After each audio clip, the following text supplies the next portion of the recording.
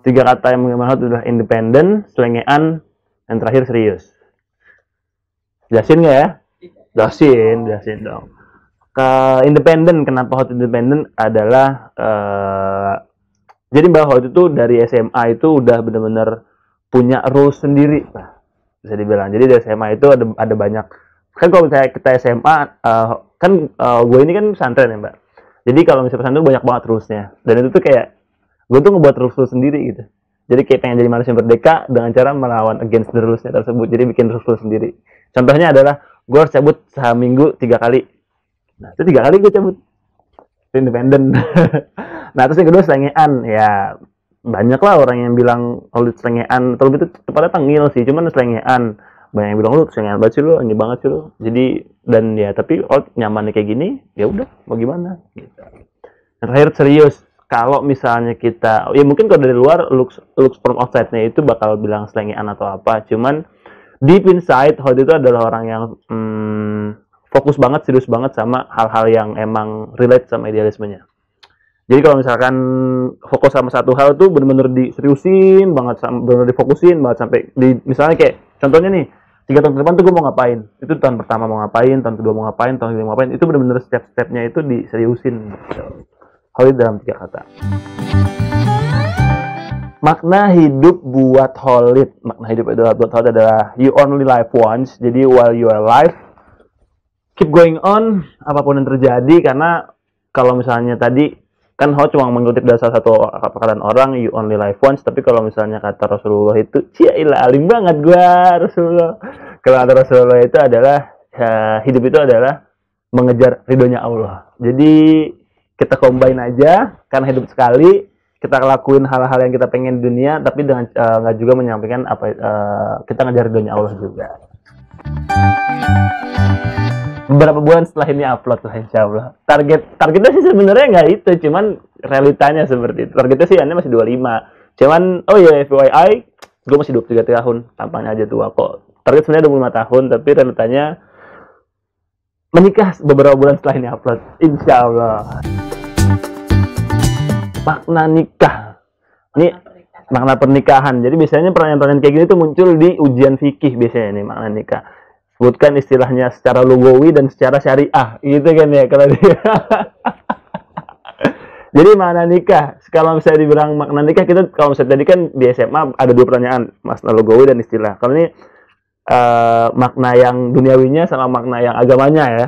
Bagi dua jadi itu. Kalau misalnya makna dari dunianya adalah kita tuh nyari kalau misalnya gue pribadi tuh menikah itu adalah mencari teman hidup yang ngebantuin kita untuk achieving our goals terus juga supporting our uh, supporting our fightings. Jadi tuh kayak ketika menikah itu kita tuh dapat bantuan kita dapat kita dapat motivasi kita dapat ya teman hidup hidup semati lah yang kita nemenin kita struggle. Karena emang I live with struggles jadi ketika menikah itu I share my struggles to my partners gitu lah. Tapi kalau secara agamanya ya aduh alim banget rasanya jawab, mau jawab kayak gitu tapi ya secara secara agamanya secara memang makna menikah itu adalah menye- menyempurna- menyempurnakan agama. Belibet ngomong ini soalnya di setting. Menyempurnakan agama. Karena menyempurnakan agama itu eh, ya siapa sih nggak mau menyempurnakan agamanya? Jadi kurang lebih seperti itu sih mbak. Nggak terlalu nggak bisa jawab terlalu banyak tentang agamanya nih. Mohon maaf anak-anak yang sukses berbisnis you're doing well you're doing great eh, karena nggak semua orang itu good with it nggak semua orang itu bakal sukses dengan dagangannya dia atau bahkan nggak semua orang itu mau berbisnis. Contohnya Holid gue adalah orang yang dari dari awal kuliah itu nggak pernah mau dagang dan sampai sekarang ketika jobless nggak mau dagang gitu walaupun apa lah gitu. Orang, tua itu eh, abi gue dagang dia punya usaha eh, isi ulang. Dan dia tuh kayak ngendorse gue udah daripada lu nggak kerja ini gue bikin lagi dah toko satu lagi. I don't want to nggak mau. Jadi menurut Holid ada orang yang sukses berbisnis adalah dia bis. Dia tuh keren dia mau struggles karena mau bisnis itu kan nggak cuman oke gue dagang gue punya dagangan ini laku selesai banyak duit. Nggak gitu pasti ada banyak strugglesnya jadi you're doing great you're doing job. Well done. Ah sukses ya belum sih karena ah banyak banyak apa ya goals yang emang Holid udah bikin. Salah contohnya adalah mau S2 ke luar negeri atau bahkan di awal-awal SMA itu mau kuliah di UI mau mau traveling banyak. Jadi jauh dari kata goals sih kalau misalnya Holid karena kalau misalnya dibilang sukses itu adalah menurut kategori Holid sukses itu adalah 70 75% goals life-nya itu udah achieve gitu. Dan kalau sekarang baru dua ya 25% lah mungkin. Jadi belum sukses lah hidup. Masih suram lah hidupnya mbak. Cerita aja nih uh, gagal itu pernah merasa gagal dan itu sampai sampai sekarang itu udah masa SMA jadi buat teman-teman yang lagi SMA pesan dari gua adalah take your school seriously because it happens a lot when you are failure in your high schools. You get a lot of trouble. You get a lot of problems. Jadi ceritanya adalah Holid SMA itu jadi Holid SMA itu bermasalah mbak yang tadi dibilang. Itu bener.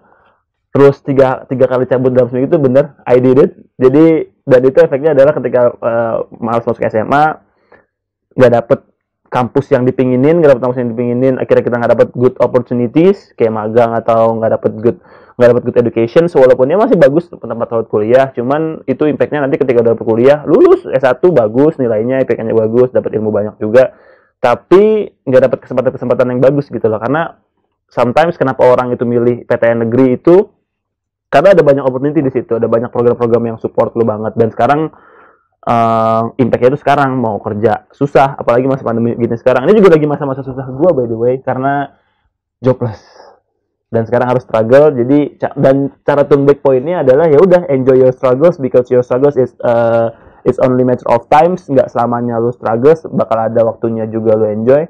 Jadi kalau misalnya masa masa gagal hoid di SMA itu ada ada healing healing timesnya itu ketika kuliah sampai sekarang sampai kira termasa ter, ter, terpecahkan masalahnya dan sekarang ada masalah lagi. Jadi ya udah enjoy enjoy your struggles uh, deals with it. Jangan terlalu fokus sama sedih-sedihnya aja dijalin aja. Pendapat tentang politik. Wow sedih sekali. Politik. Politik itu menarik. Politik itu ada suatu hal yang apa ya berubah-ubah. Hollywood udah masuk di dunia politik itu udah dari tiga tahun yang lalu dari satu tahun sebelum uh, politik politik praktis ya. Jadi politik praktis itu udah tiga tahun yang lalu. Sebelum ada setahun sebelum kampanye itu udah masuk politik praktis Hollywood kenal beberapa orang. Jadi bahkan di luar di luar PKS pun Hollywood kenal. Jadi ngeliat politik itu apa ya dan banyak politik politik itu politik jahat. Politik itu jahat kenapa? Karena impactnya itu bisa uh, ke banyak orang Indonesia. Contohnya yang terakhir Omnibus Law. Itu kan gara-gara politik. Nggak mungkin ada Omnibus Law kalau nggak ada politik. Kayak gitu. Jadi kalau berpolitik itu pasti kita harus bikin banyak orang dan ketika berpolitik itu pasti juga impactnya ke banyak orang jadi harus deal with it tapi tambah politik juga nggak bakal settle di negara tuh jadi politik itu penting politik itu jahat dan politik itu uh, apa lagi ya politik itu keren karena strategi politik itu menurut gue mantap-mantap. Kenal PKS Holid itu udah udah PKS dari zaman masih di perutnya Umi mungkin ya. Jadi sebelum Holid itu lahir di dunia itu Umi udah ikut Riko Umi udah ikut uh, Umi itu udah udah berjuang sama waktu itu masih PK Partai Keadilan. Dan ketika lahir itu Holid mengalami fase di awal-awal lulus kuliah itu politik is sucks. Jadi menurut Holid nggak nggak asik lah gitu. Tapi ketika ketemu lagi gitu kan kalau misalnya mengeluh uh, Holid itu pesantren, ketika lu circle-nya itu pesantren pasti nggak bakal jauh sama dunia perpekaesan. Beneran deh nggak bohong, pasti bakal deket sama dunia perpekaesan. Pesantrennya mana dulu tapi ya pesantrennya. Yang udah itu salah ngomong. Jadi kalau jadi Holid itu dunianya ketika lulus dari SMA itu uh, dekat dengan orang-orang yang di PKS. Jadi hmm, waktu itu walaupun lagi nggak merasa care sama politik, ketemu sama orang PKS dan ketika PKS itu uh, memutar balik 360 derajat hidup gue.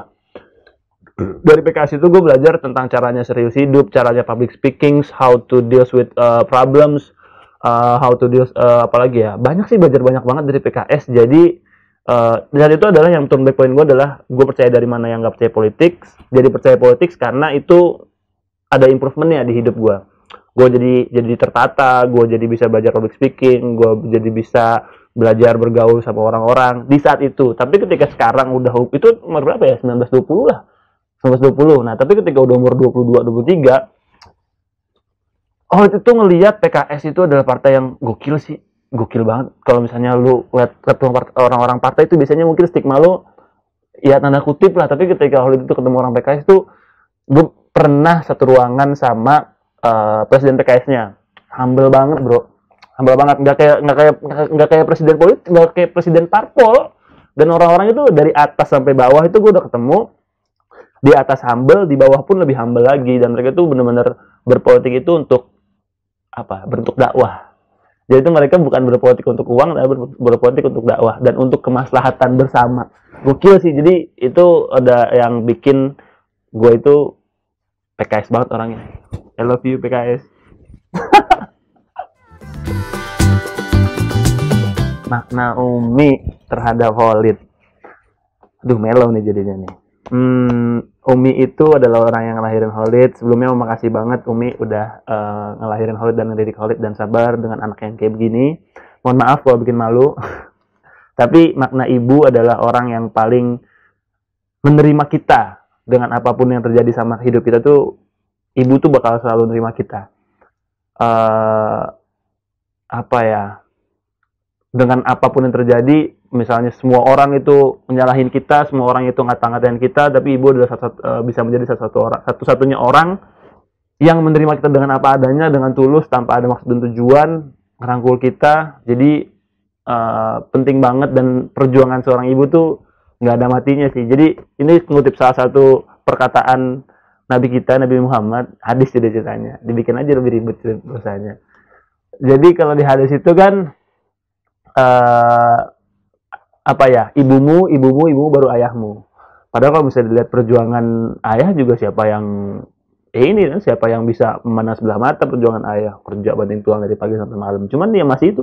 Yang pertama ibu yang kedua ibu yang ketiga ibu. Karena apa? Karena ngelahirin anak gitu kan. Hamilnya juga susah terus juga apalagi pas udah ngelahir pun nyusahin gitu apalagi Holid maaf ya Umi sering lupain susu walaupun susah nyari duitnya. Maafin Holid. Uh, tapi ibu adalah orang terpenting buat Holid karena kalau nggak ada ibu mungkin Holid udah jadi urakan di luar sana. Uh, ya itu dia mbak. Jadi kalau misalnya karena Umi itu Holid jadi nggak hancur hidupnya dari masa SMA yang urakan itu bisa sampai sampai saat ini tuh gara-gara doanya Umi sih. Ada hampir semua di Holid ini terjadi karena doanya Umi. Jadi thanks for that moms. Love you sarangnya yo. Ya itu aja kali ya. Mbak udah kebanyakan. Jadi itu aja. Uh, ini ini segmennya get to know me. Sebenarnya nggak get to know me banget. Ini mah random talks jatuhnya sih. Bukan get to know me awalnya get to know me doang. Ya uh, yang lagi nonton tetap di rumah stay safe di, uh, mudah-mudahan enjoy sama apa ya segmen gue kalau misalnya gue salah salah ngomong mohon maaf. Assalamualaikum warahmatullahi wabarakatuh